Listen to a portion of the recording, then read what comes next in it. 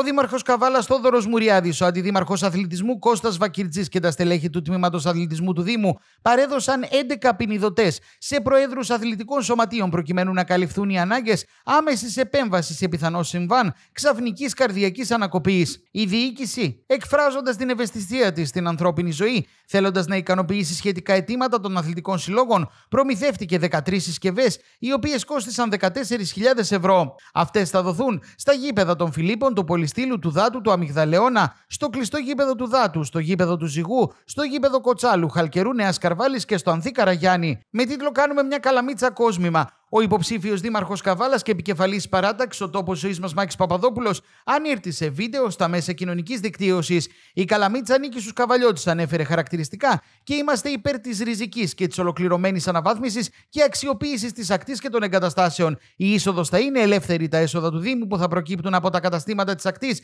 θα καλύπτουν όλο το λειτουργικό κόστος για τη λειτουργία της παραλίας, ανέφερε χαρακτηριστικά, παραθέτοντας τι μακέτες. Η ακτή Καλαμίτσας βρίσκεται και στο επίκεντρο της παράταξης ώρα δημιουργίας εκεί όπου η υποψήφια δήμαρχος και επικεφαλής παράταξης Αναστασία Ιωσήφιδου πραγματοποίησε μια ξεχωριστή εκδήλωση για νέους με τίτλο Η Καλαμίτσα ανήκει στον Δήμο μας. Όπως αναφέρει μάλιστα σε ανάρτηση, η παράταξη θα αξιοποιήσει την ακτική ΕΤΑΔ. Α έρθει να τη διεκδικήσει από εμάς, αναφέρουν. Το πρόγραμμά του για την Λιδία, την δημοτική κοινότητα του Δήμου Καβάλας, ανήρτησε ο επικεφαλής της παράταξης, η Καβάλα μπροστά Γιάννης Ερυφιλίδη.